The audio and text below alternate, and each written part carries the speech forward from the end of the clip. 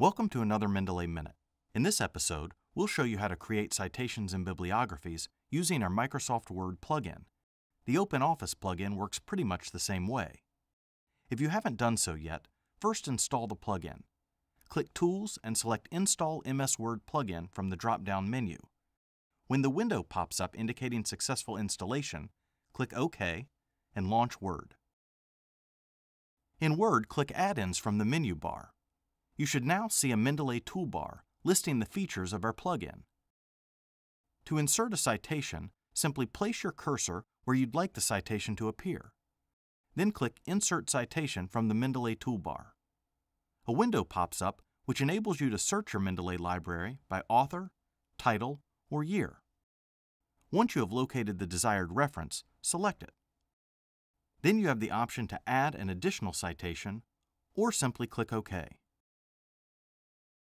Alternatively, you can choose to go to your Mendeley library and grab the reference directly. Clicking the Go to Mendeley button will bring up your Mendeley desktop. From there, simply locate and select the desired reference,